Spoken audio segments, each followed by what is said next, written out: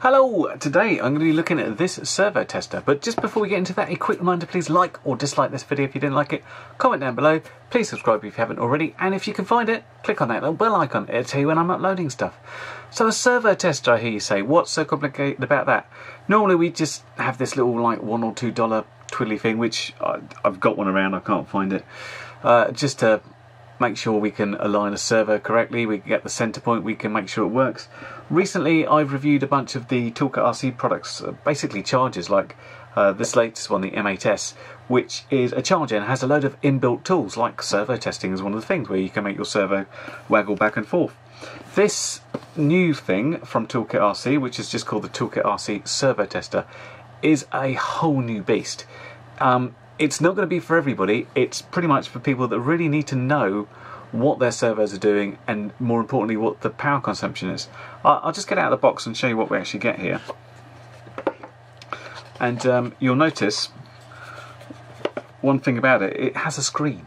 It has a screen, um, it has inputs there for an XT60, has an output there as an XT60 as well. It has got eight servo channels here which you can drive four of them independently and you can do so because it's got this other uh, input here which can use PWM or PPM or S-Bus so you can put in a receiver and use your radio to control things and you can exactly see what your servos are doing. This is going to be, I think, for the people who are into their planes more because we're talking servos and when you're talking about hooking up lots of servos and what you might be doing uh, with your controller because most uh, traditional planes, we're talking four servos uh, for the ailerons, elevator, and rudder. You might have a couple more extra if you if you got flaps. You might have something like a pan tilt mechanism. That's another two. You're already up to eight servos. And what we sometimes do when we're thinking about how we're going to run this is uh, some people might just put in a big BEC to run them all. Other people might think, oh, my ESC's got an inbuilt BEC of 8 amps, 4 amps, 2 amps. Is that going to be enough? Because there's like a rule of thumb about using one amp per servo. So using this, the idea is you can move your sticks around and you can see exactly how much power those servos are actually taking, which I think would be an interesting test to do. There is also in the bottom of the box a little USB cable. This is firmware upgradable and I think uh, Toolkit RC told me there's new firmware available so I'm going to see about upgrading it before I do anything. And there is a brief manual. There's normally, and I guess it's going to be the same, um, a more verbose one online that you can look at as well. So let's hook this up and see what it can do. Okay, so I updated the firmware, which is pretty easy. It's just a case of plugging in the USB cable here to a Windows PC and it appears as a drive and you drag the firmware over to it. I say Windows PC because I tried this on my Mac and it didn't appear as a drive. Um, so I don't know if that's a problem. I'll report that back and see if they've got anything to mention about that. But Fortunately I've got access to Windows Box as well. So I'll turn it on and uh, it would have flashed up the firmware there which is 1.11 I think. Now if we, I'm just going to zoom in, hold down this button, we've got some of the lots of options you can do. There's a voltage output you notice that says off. This is we can produce voltage out of there.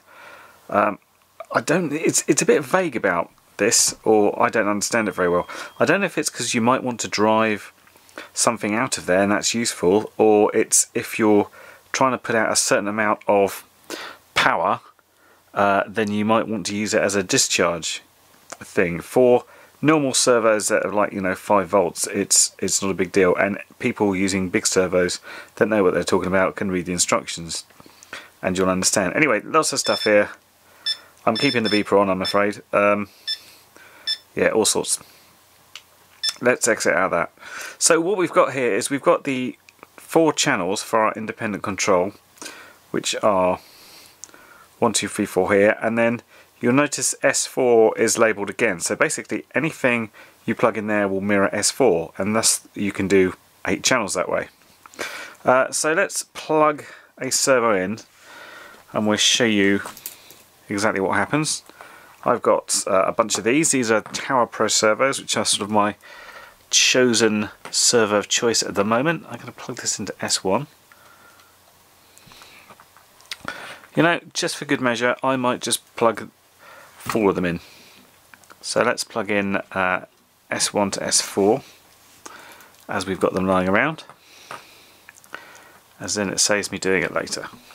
Right, I now have to figure out an angle where we're going to be able to watch the servos and the screen. Oh, I just have to lift the screen up and down when we want to see the screen in more detail, like now. So, what we've got here, let's go into one of these and, and I'll show you. If we press return, we've got an input and our input has a variety of things. We'll start here because this is um, internal linear. Um, I'll just set this going, I'll press pause key and we will see now that we've got servo 1 moving back and forth which is represented here and we've got all this stuff going on here. What is that we ask ourselves? Well what we've got here is the amount of milliamps that's happening. Speed is not used at this point and the count, the number of times we've done it. And we've got a little graph going on. At any time we can pause that. If we want to, we can rewind down the graph to see spikes and stuff, which is all very good. Now we've got other modes and other things we can do. So at the moment it's linear. We can change that to stage. What stage does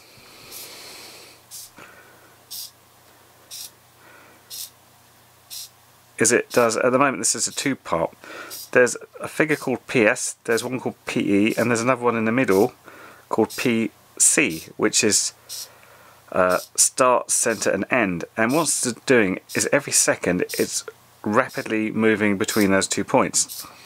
And if we wanted to whoop,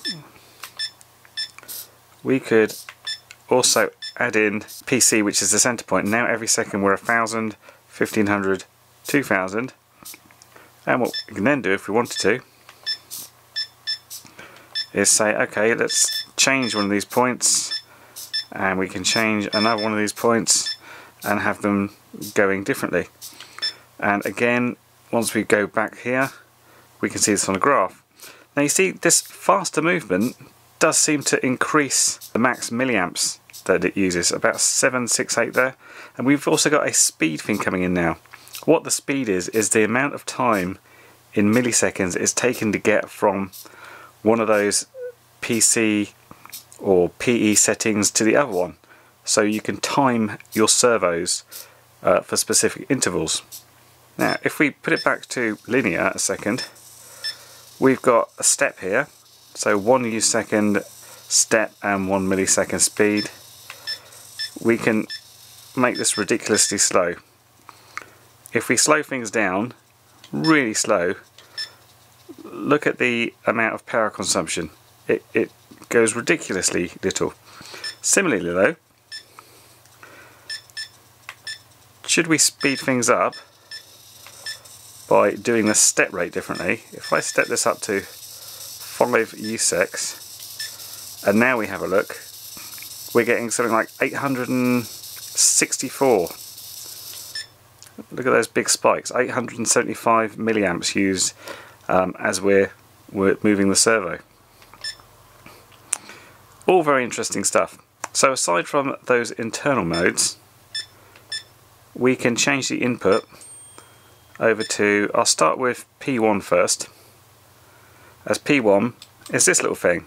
So we can now use this little rotary knob which hides away when you don't want it to move our servo and we've got a little a little notch where it sort of centers back. The center is not super accurate, there's some give in it so it's not exactly on 1500 but it's close enough. So of course we've got other servos plugged in so I could just as easy go to uh, number two and say I also want that one controlled by this knob which is this one and now what we've got is two servos doing their thing.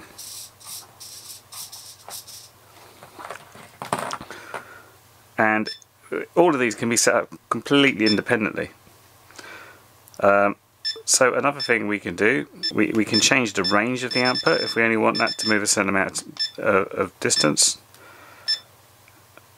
But if we try another one, we've got key.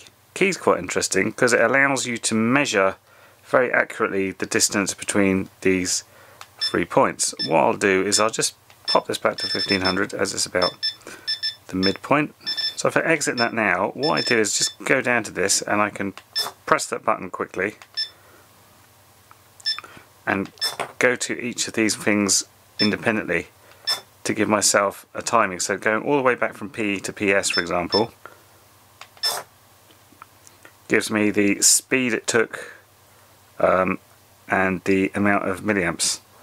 And we got a slight difference there between, I notice, servo 1 and servo 2, even though they're exactly the same brand. Go back up again. Oh, we've gone back to internal. One on there, I might just slow that down.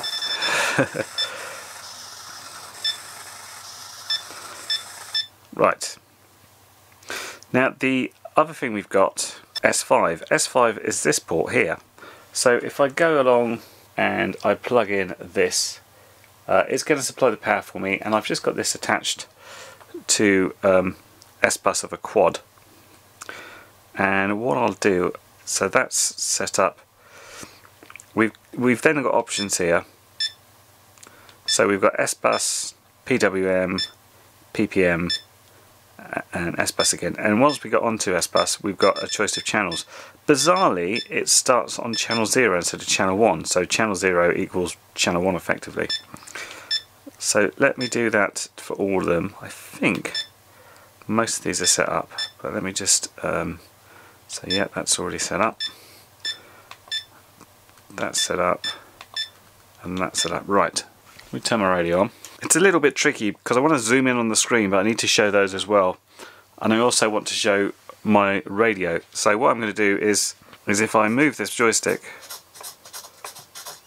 channel 1, channel 2 channel 3 channel 4 and we can kind of see with that we can move them all and chatter them around and really go for it and see how many milliamp hours we're drawing. So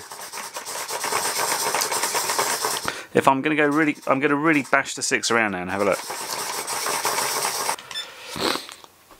And if we review that, I mean, we got some real surges there. You see, we, we're drawing different colours for each channel, and by wiggling the sticks, I was able to get over one amp um, on channels two and three, with um, almost an amp on the others. And by using this, you can obviously work out if your servos are going to be fast enough, how many amps they're likely to pull, and you can figure out what BEC you need or if your ESC is able to handle that current and what's likely to happen. And you know, if you're just flying a wing and you've got two servos, it's probably not that much of a problem.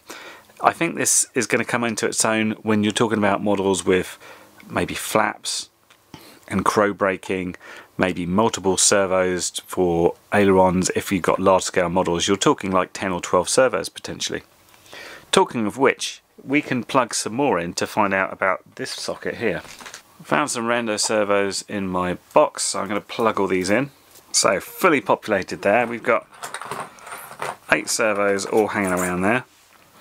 And one of the settings you can do quite helpfully is if you want everything to, to basically be the same uh, as it is, you can set your input to S1 so S1 being the first servo.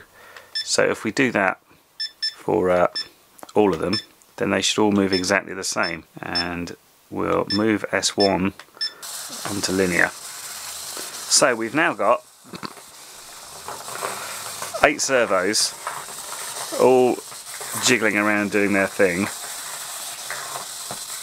So the ones on channel 4 are mirroring so the four extras we put in are the same as channel 4 and we can easily turn that off by so let's set that to channel S5 if we set channel 4 to P1 which is the the rotor there we can just move essentially 5 on their own and generating up to about 3 milliamps there or 3000 free amps I should say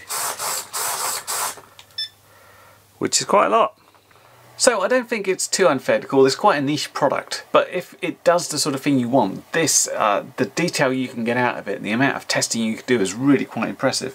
So if you're wanting to know exactly the amount of power all your servos put out, depending on your movements of your sticks, or in general, or if it's very crucial about how long it takes for a surface to go from here to here, or checking that your servos you're intending to use are doing exactly the same amount and exactly the same amount of power, uh, and take exactly the same amount of time. This is about your only option, so it's incredibly impressive what it can do.